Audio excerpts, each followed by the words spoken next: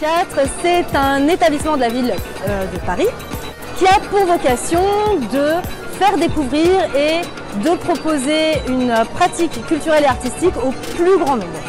Euh, ça passe donc par plusieurs actions, à la fois des résidences d'artistes, euh, un lieu qui est ouvert aux pratiques artistiques amateurs,